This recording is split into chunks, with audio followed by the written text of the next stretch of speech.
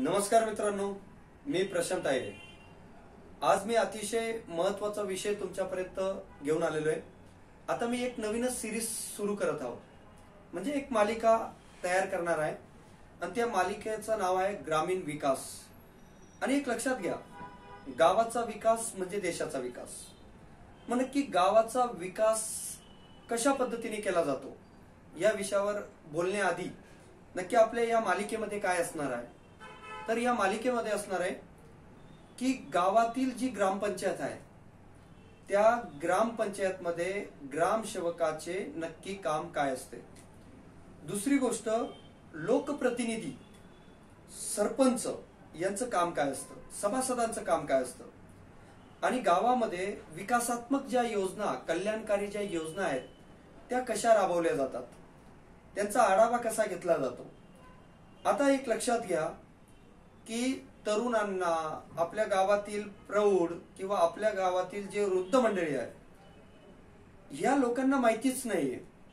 तर या सर्व गोष्टी जेव्हा पूर्ण गावकऱ्यांना माहिती होती सगळ्यांचा सहभाग जर नोंदवला गेला कारण एका व्यक्तीने विकास होत नसतो सर्वांचा सहभाग नोंदणं सर्वांनी एकत्र येणं ही फार महत्वाची गोष्ट आहे जर गावाचा विकास करायचा असेल तर.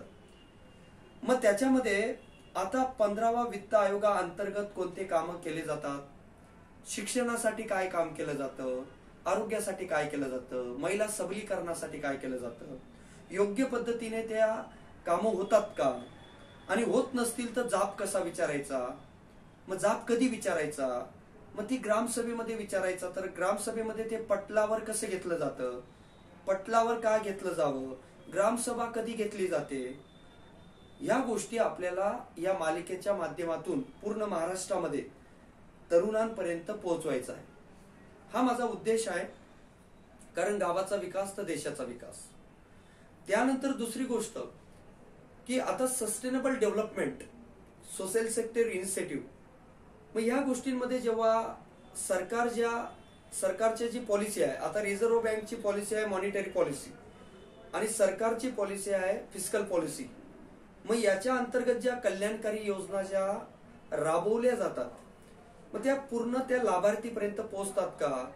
त्या योजनेसाठी काय निकष लावलेले आहेत? काय डायमेन्शन लावलेले आहेत? काय आयाम लावलेले आहेत? त्यानुसार लाभार्थी योग्य प्रकारचा लाभार्थी निवडला जातो का? आणि निवडला जात नसेल आणि चुकीच्या लाभ